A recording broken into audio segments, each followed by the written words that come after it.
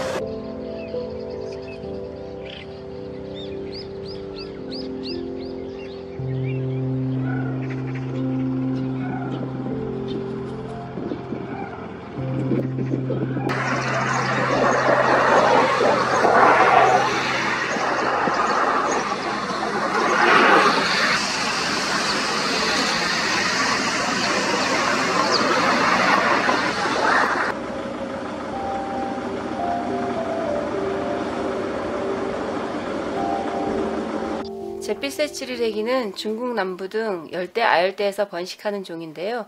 우리나라에서는 최초로 제주도에서 번식에 성공하였습니다. 찌르레기처럼 기후변화와 관련된 종을 우리 제주야생동물 연구센터에서는 지속적으로 모니터링하고 있습니다.